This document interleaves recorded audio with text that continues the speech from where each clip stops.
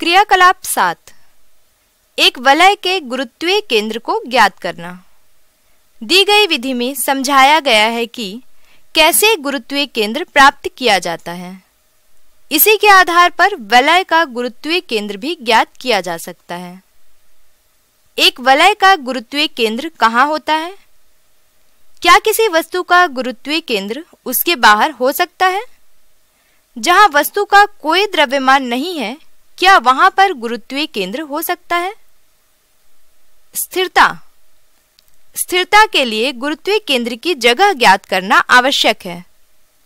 किसी भी आकार की वस्तु के गुरुत्वीय केंद्र से एक रेखा नीचे की ओर खींचिए।